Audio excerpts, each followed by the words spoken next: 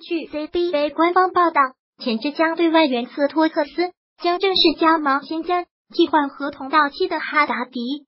目前，新疆队已经用完了常规赛四次换人名额。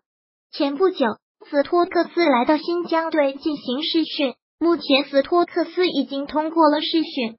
上赛季，斯托克斯效力于浙江队。不过，据浙江队官方表示，由于态度问题，球队最终裁掉斯托克斯。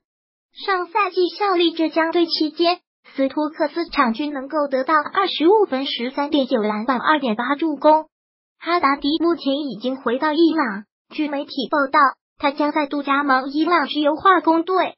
本赛季效力新疆期间，哈达迪场均仅得到十点五分、十点七篮板。